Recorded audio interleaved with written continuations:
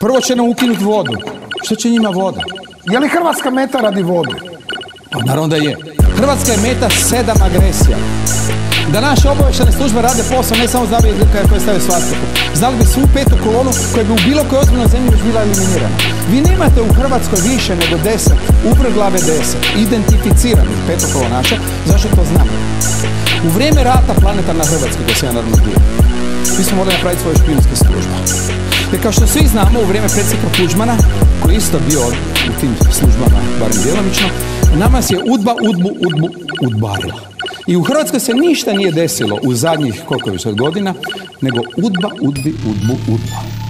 I vi to točno vidite, sjećate oni majmuna. Dakle, postavljalo se glavnog orangutana koji mlati ili glavnog majmuna koji mlati po segmentima. Halo? Zamislite vi, mi još uvijek ne znamo ko su vlasnici naših tobož banaka. Če, kako je moguće u normalnoj zemlji ako smo svi jednaki, a bili smo koliko toliko jednaki, da su neki jednakije? Hm? ne, ja sam pitao javno, ponovo pitam. Dragi gledatelji, garantiram, uh, cijeli život, a pogotovo zadnjih 30 godina u Švicarskoj imam veću plaću nego bilo koji hrvatski dužnosnik. Veću, garantiram, možete provjeriti.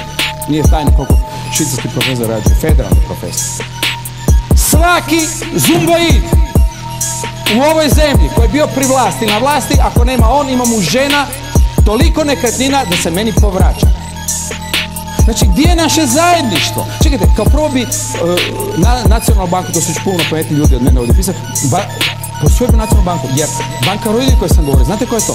bis.org, molim dragi gledajte, odite sad na internet, b-i-s, bis.org, o-r-g.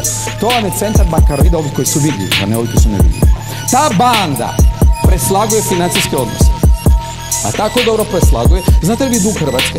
Sad ću vam ja reći, na pamet da. Red veličine bruto nacionalnog dohodka, dakle on je 50 do 70 milijardi euro, a dolara kad gledate, tako? Sjećam. Italija duguje, možemo diskutirati, 1000 do 2000 milijardi. Španjolska isto tako, čak i Francuska. Dakle, cijelu Europu... Amerika. No, sad ćemo čuti Ameriku u sekundi. Dolar bi ošao na nulu po takozvane plaćane ekonomske vrijednosti da je na nafti, jer nije više, ni glavni za naftu, bio nekad više nije, nije normalizirano zlato. A čega je normalizirano za Kinu? 50% ekonomije, glavna linija brodska vam je Šangaj i Los Angeles, halo?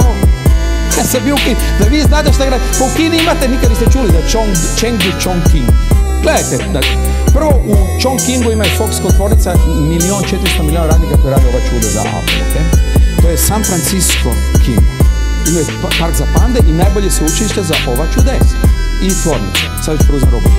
King je glavni za energiju, 44 miliona kineza, u ogromnom gradu na dve zemlje Jance i kad rade, rade energetiku, zato sam bio tamo?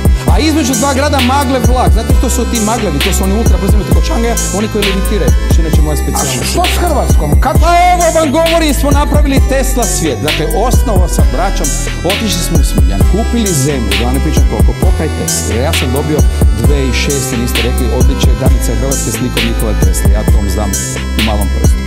Jedan od vodećih teslijanaca svijeta. Hoću vam reći ekskluzivno, dragi gledanje, mi imamo najbolju tehnologiju Tesla na svijetu. Ponavljam, mi svi proglasite lažovom, kontroverznim fizičarem, hvaljeni su si Marija idiotom, ja javno objavljam. Gospodin Bujanac, da znate što možemo i znamo, cijela nacija bizurala. Čast malom Rimcu i dečkima tamo, svaka čast i svakom drugom Hrvatu, da vi vidite kakve su ludnice napravili braća Hrvati.